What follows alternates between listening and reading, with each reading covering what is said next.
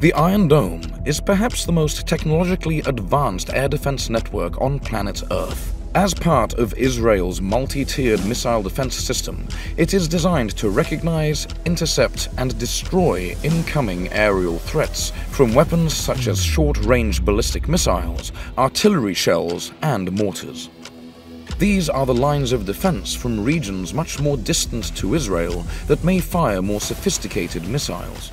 This all happens at an altitude of between 10 and 50 kilometers above sea level, using a fragmentation warhead that is designed to explode near the incoming missile to damage it before any impact is sustained. The Iron Dome and its associated defenses are a consequence of the instability and violence that came to define this part of the world in the late 20th century and early 21st century. Initially, all funding came from Israel, and it wasn't until 2010, when the United States began to contribute financial aid, that it was made into somewhat of a global concern.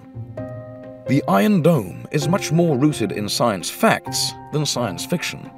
It operates on the very edge of what a combination of supercomputing, artificial intelligence, and advanced weaponry can provide.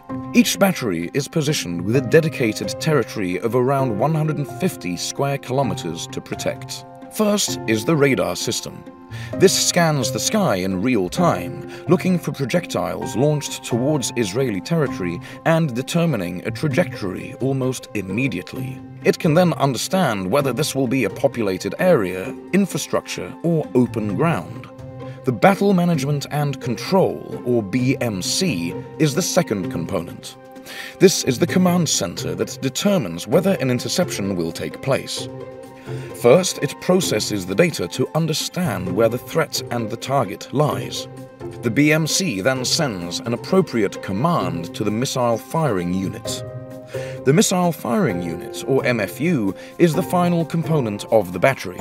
Each MFU on the battery has three or four launchers that are capable of holding 20 Tamir interceptor missiles at any time. These Tamir missiles are equipped with advanced sensors and designed for maximum maneuverability. Flying at incredible speeds of up to 2,700 kilometers per hour, they can intercept and destroy within seconds of detection at a range of 70 kilometers. There are, of course, arguments that possessing an air defense system so sophisticated as the Iron Dome makes acceptable levels of aggression and response to attacks even more difficult to establish.